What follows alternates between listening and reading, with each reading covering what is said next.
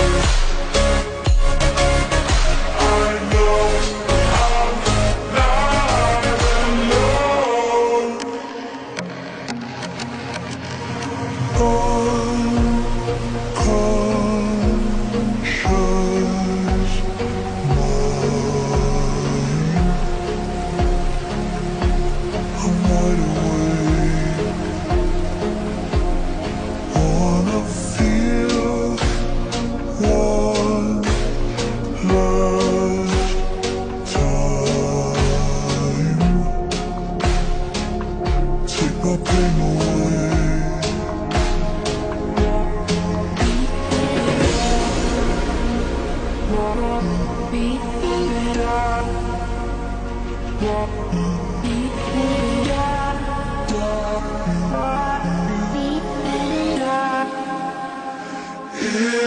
this night is not forever, at least we are together.